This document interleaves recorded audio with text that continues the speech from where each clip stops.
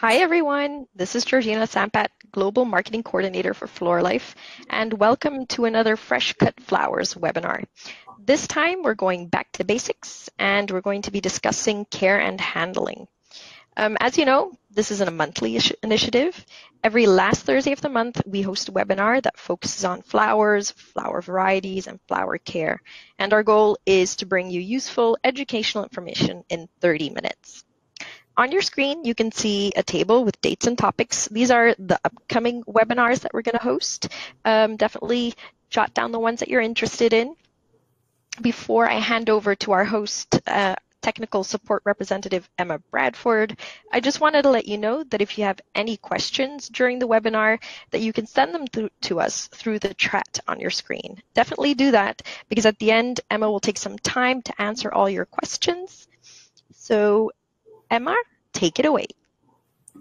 Thank you, Georgina. Well, hello and welcome to our seventh webinar in the series.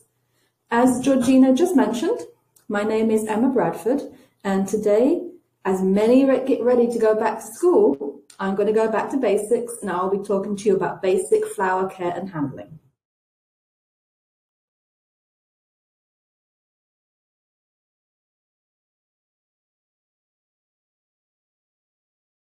So, going over our little roadmap of where I'll be taking you today.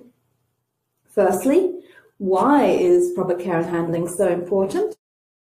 Then where in the supply chain it is important? And then I'll show you how to carry out proper care and handling. And lastly, I'll finish with some fun facts. So, why is proper care and handling so important? Well, Let's put all commercial considerations aside for now and just focus on the biology of cut flowers. Now, a cut flower is a living and breathing thing. So think of it as a plant whose roots have been removed.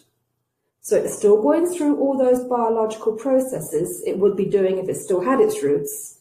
But now it isn't able to replenish its resources through its roots. So things like water and minerals and it's not able to efficiently carry out photosynthesis anymore. So it's vulnerable and it's susceptible to poor handling. Now, let's talk vase life days for a moment. When a flower is harvested, it will have a set amount of vase life days in it that it will be able to achieve. Now, how many days of vase life it has will depend on many factors, like whether it's a rose or a chrysanthemum, which variety it is, and then lastly, the environmental conditions it was grown in, so the growing conditions. But the point is, once that flower is harvested, the maximum number of vase life days it can achieve is preset. Nothing you will do will add vase life days. However, there are many ways in which you can reduce the number of vase life days by improper care and handling. So the reason proper care and handling is so important is because it gives you the tools to retain as many vase life days in each flower as possible. So why would you want to retain vase life days? Well, studies show that how long flowers last is the most important factor by which consumers judge the quality of their flower purchases. So even though each person may choose flowers based on their type or their colour, even the most beautiful bouquet will not satisfy consumers if it doesn't last at least seven days. So, where in the supply chain is proper care and handling most important?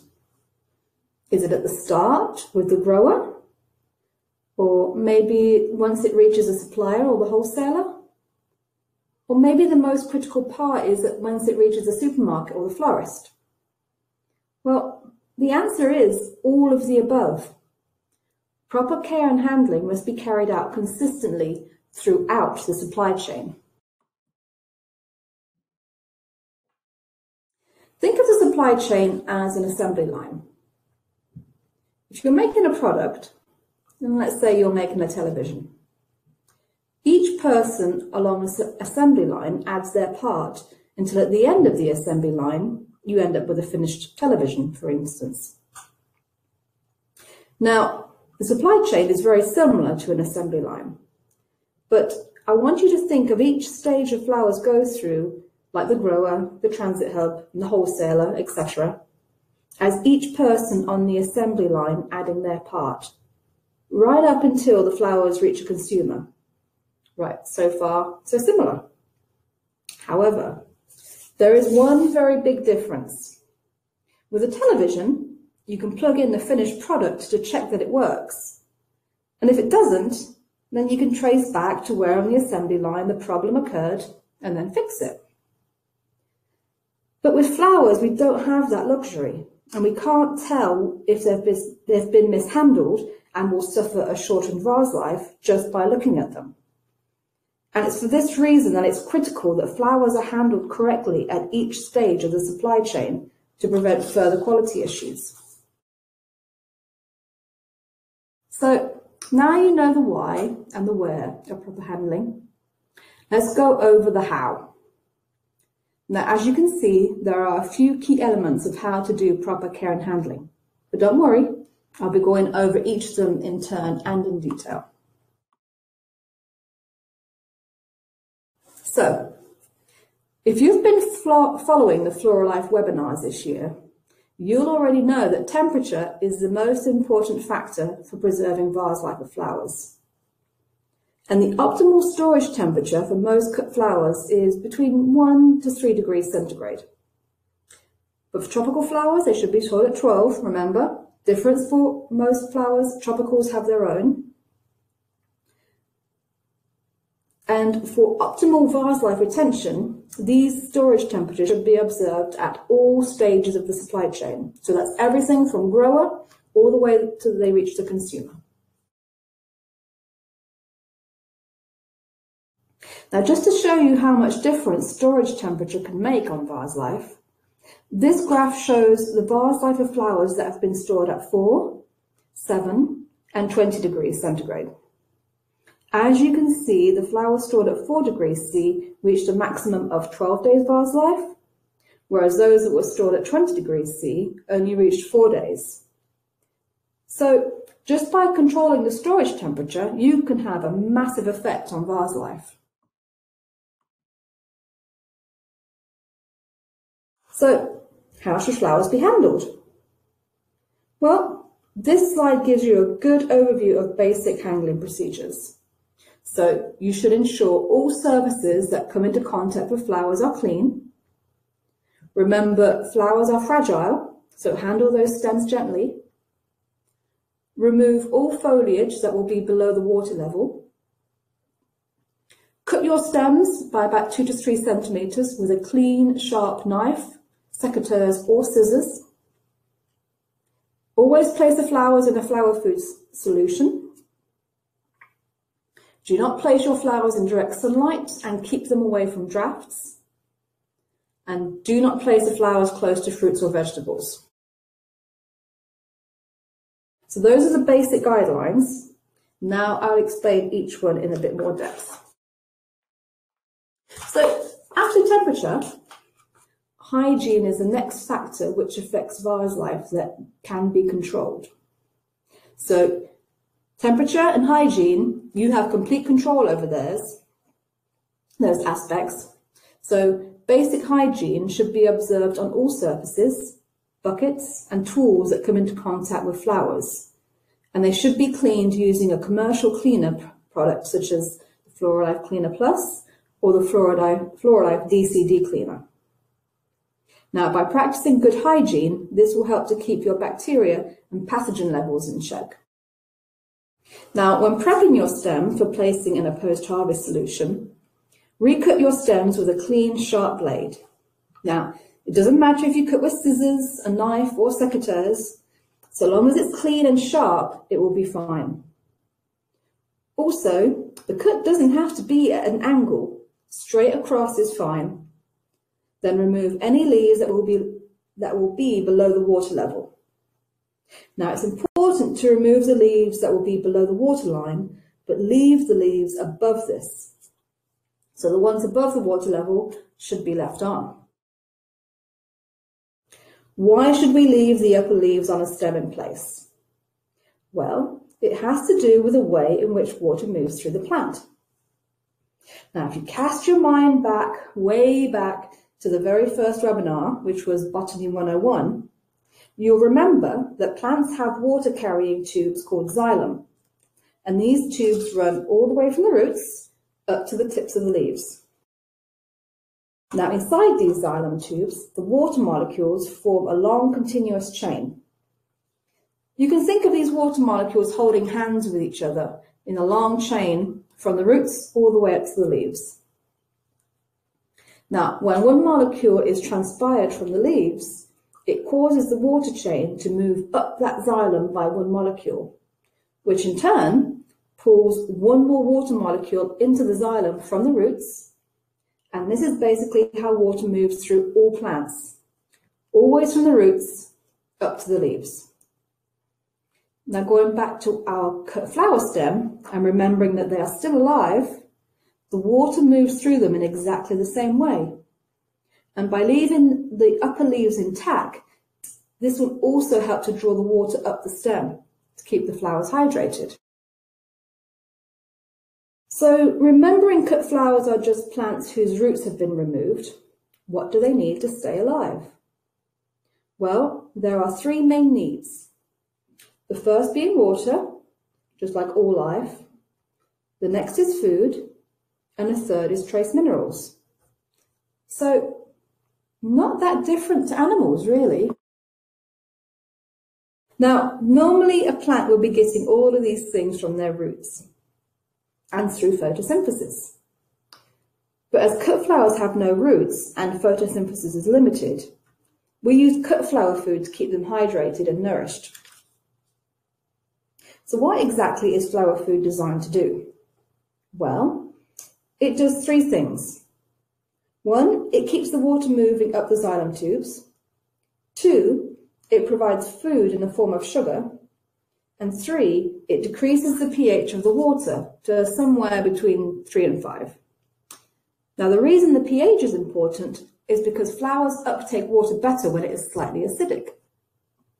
So, just to show you how much difference a good flower food can make, this graph shows a vase life reached by three different types of flower a rose, a sunflower, and a gerbera. Now the dark green bars show the vase life of stems of each flower that were kept on water only, and the pale green bars are the flowers that were placed on Floralife flower food. And you can see that just by adding flower food, we were able to preserve between four and nine days of vase life as compared to water only. And this is just a photo showing the same thing but using different flowers. And the flowers on the left were kept on water only, and the flowers on the right were kept on a Floralife flower food. Now, I can show you many, many photos like this, but the best way is to see it for yourself and try it at home. So buy yourself a bunch of roses, make sure they're all the same colour, so all the same variety, and then divide that bunch in two. Then place half of the stems in a vase with water only, and place the other half in a vase with flower food. And then just observe for yourself how much difference adding flower food makes compared to just water. When using flower food, it's important to get the dosing correct. So I bet there isn't one person out there who, before they began working in the flower industry, ever read the instructions on a sachet of flower food. I know I didn't. I mean, you just cut the sachet open, pour the food into a vase, and fill it with water to the top, right? No, that's the wrong way. The amount of water you add is very important. Add too much water and your flower food will be underdosed. Meaning, you will have added some sugar, but you won't have created an environment to help keep those bacteria in check. So the bacteria in the water, and trust me, there will be bacteria in the water just because bacteria is everywhere. The bacteria will go, woohoo, food. And because they won't be kept in check, they will really go to town and really multiply. On the other hand, if you add too little water, meaning that your flower food will be overdosed, you're really just wasting your money because you're using more products than you need to. So to make the most out of your flower food and maximize the benefits gained from using it, always dose it correctly. Now, another way to help your customers enjoy their stems for as long as possible is to choose the best varieties. Now, just like some breeds of dog are better at some things than better than others, there are many different varieties of rose, each with its own unique characteristics, including the maximum number of vase life days it can achieve. And this isn't just unique to roses. You can find varieties of all crops which perform better than others. Now, the graph here shows the difference in vase life days between two different varieties of gerbera, rose, and lily. Now, all the conditions are the same. It's only the variety that's different. So it's the same flower food, same temperature, exactly. Just the variety that changed. And you can see that there was a difference of between 7 and 12 days of vase life between the two varieties. So always choose the right variety. Now, remember a few slides back when I talked about the importance of hygiene? Well, this is the reason it's so important. Bacteria.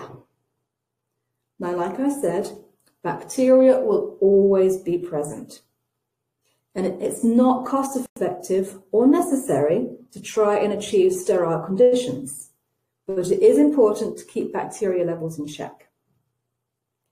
So what's so bad about bacteria? Well, bacteria can be sucked up into that xylem where it can cause a physical blockage, preventing water from getting up the stem. And then when this happens, flower food is no longer able to keep the flower hydrated and nourished, and it can lead to premature wilting and bent neck. So how do we keep bacteria in check? Well, that comes down to good hygiene and always using a correctly dosed post-harvest solution in your buckets or vases. So let's talk about botrytis for a second. Now we've all seen it, we've all had to deal with it, but what is it and how does it kill flowers so quickly? And more importantly, how do we deal with it? Well, what is it? it's a fungus. It's a necrotrophic fungus, to be exact. What does that mean? Well, it means that it likes to feed on dead plant matter. And it will kill healthy tissue in order to make it dead. So, pretty nasty, really. And how does it do this? Well, kind of like plants make seeds, fungi produce spores, which is one of the ways infection can spread. And spread it will. You can assume that all flowers carry botrytis spores to some degree. But just like plant seeds, these spores require warmth and humidity to germinate. Okay, so bearing all of that in mind, let's look at one rose stem. Now, botrytis spores can be present on the stems, on the leaves, and on the petals. But if that's the case, why do we mainly see infections on the petals? Well, because of the way the rose parts are made and how easy it is for the botrytis spores to get into those parts. So when a botrytis spore germinates, it produces lots of little shoots, just like in the picture. And at the tip of each of those shoots, it releases a toxin. Now, it uses this toxin to produce a wound or opening on the plant through which it can enter. And then once it's in, it can start killing and eating the plant from the inside. Now, imagine this is happening all over your rose stem. Lots of botrytis spores germinating all over. If a spore happens to germinate on the stem, where the skin is quite thick and also protected by a waxy cuticle, it will be very difficult for that botrytis to make a wound and to get inside the plant. Meaning that the spore will have spent its energy germinating, but without access to food, it will pretty much wither and die. Kind of like a plant seed may germinate on poor soil, but it will die if it doesn't get water and nutrients that it needs. And it will be the same story for spores which germinate on the leaves or other green parts which are tough to get into. But the spores that germinate on the soft fleshy petals, those spores have got it made. Because the petals are much softer and easier to penetrate, once the botrytis is in, it can spread like wildfire. So even though botrytis spores can be all over a stem, we only see them develop on the petals because that's where they are successful at entering the plant. Now, the biggest question, how do we prevent the spores from germinating in the first place? Well, remember your old friend temperature? Botrytis spores require warmth and humidity to germinate. So storing your stems at 1 to 3 degrees will prevent your stems from developing botrytis. But there are other ways you can prevent botrytis, and that is to treat them at the farm with an anti-botrytis product such as Floralife transport paper or even EthylBloc.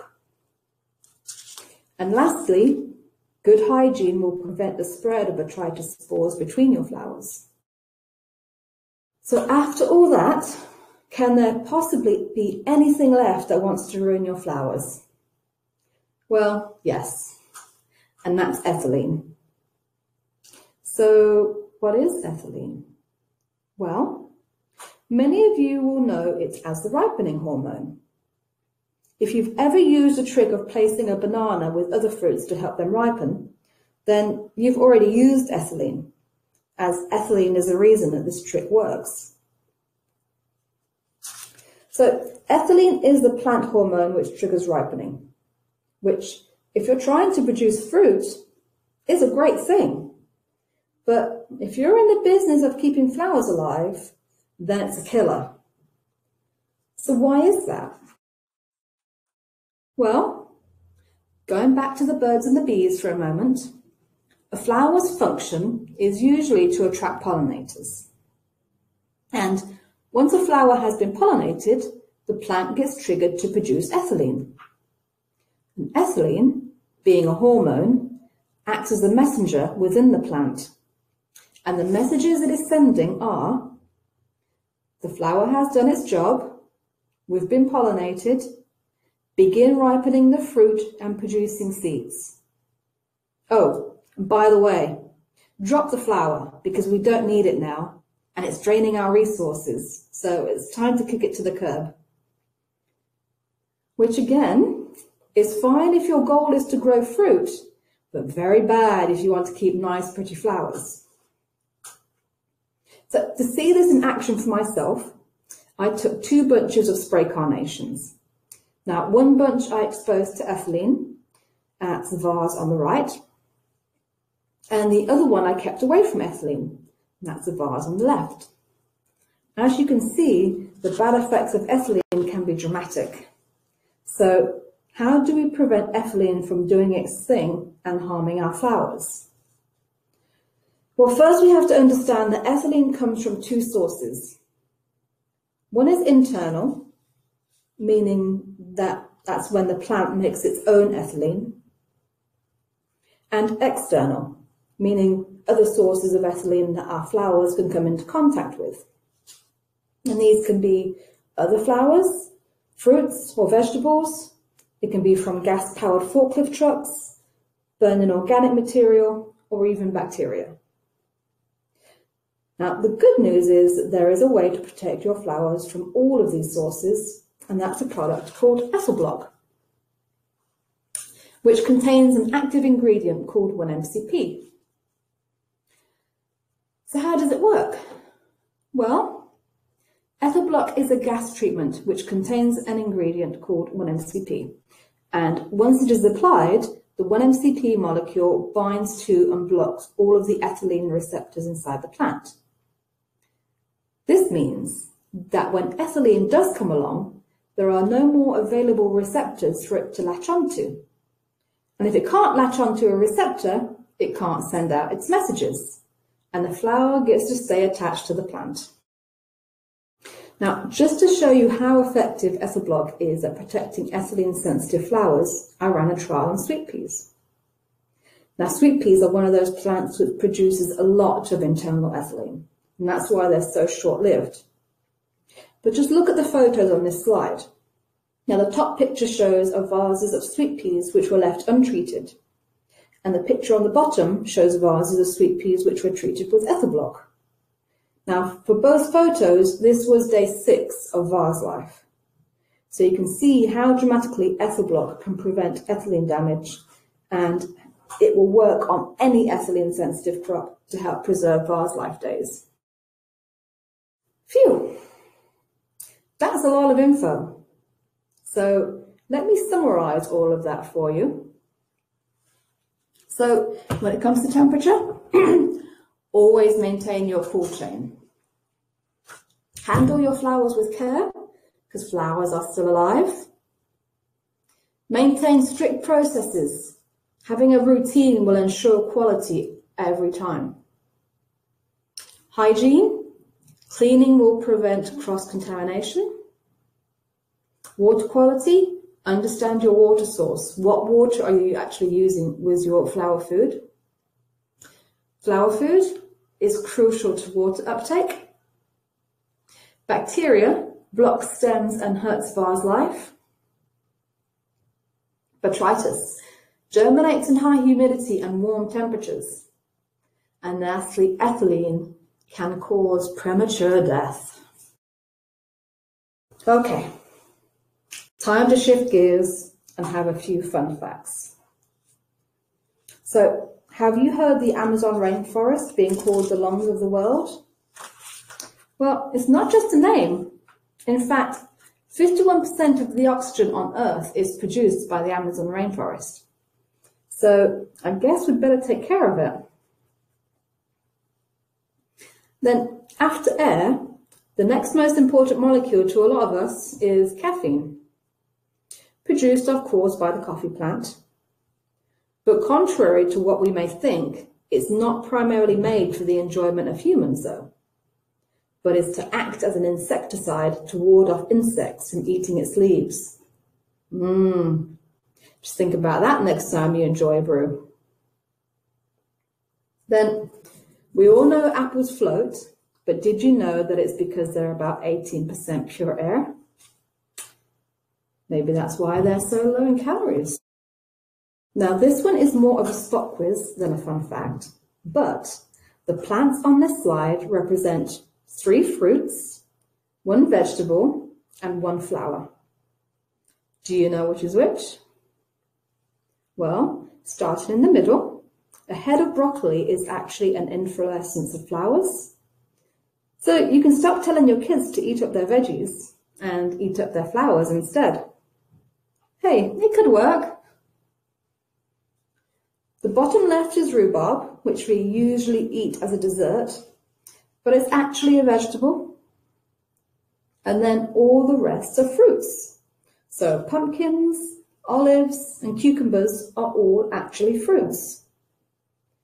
So now you can all go and impress, or annoy, your friends with some new plant facts. Any questions? Thank you, Emma. That was really good.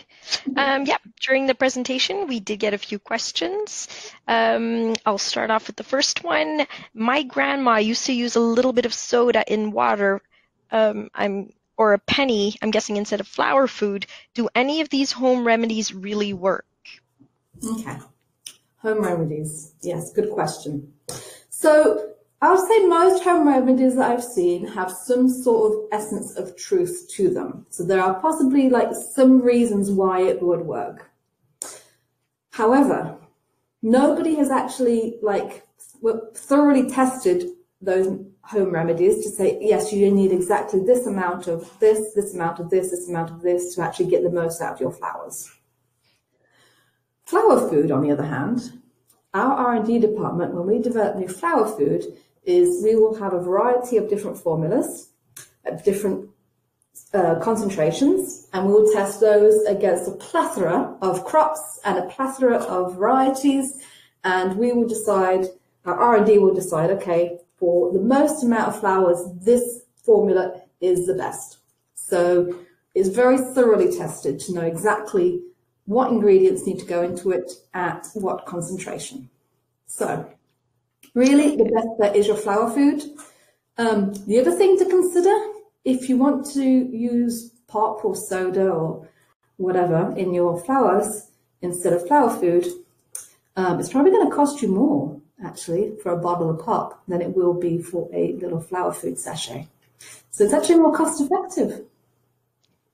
Okay, thank you for that.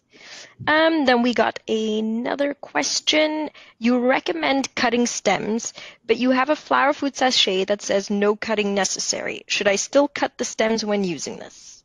Ah, very good question. Yes. So we do generally still recommend cut the flower stems just in case. Now, that's because we're not sure which flower food a person may use with those flowers, so to be on the safe side, we do say yes, cut your flowers. However, if you are using any of our express formulas, though you don't have to recut, which in some trials I've seen stems which have not been recut actually perform better than cut ones, which goes completely counterintuitive, but yeah, it's one of the benefits of having express formula. So if you are using a Floralife Express formula of any kind, you do not have to recut the stems. That's correct. Okay. And then our last question, can we use EthylBloc at the retail florist stage? Is it too late and should the flowers be untreated at that time? Or should it be too late if the flowers are untreated at that time? That is a good question. And yes, that is correct. So with EthylBloc, the where they will most likely be exposed to ethylene is during the supply chain. So we want to get those ethylene receptors blocked as early as possible. So really the best place to apply EthylBloc will be at the grower before they get into any trucks or any dispatch to go anywhere through the supply chain. So you really want to protect your flowers as early as possible. So it all needs to be done at the grower so that it is protected by the time it enters the, the uh, supply chain. If you do it at the end, so once they've reached the wholesaler or the supermarket, they will have already encountered quite a bit of ethylene, chances are. So they need to be protected and treated as early as possible. Okay, thank you. That was it. No more questions. Um, thank you everyone for joining us and we hope to see you next month. Emma, thank you very much for the great presentation. Thank you. Thanks, Georgina. You're welcome. Goodbye, everyone. Bye.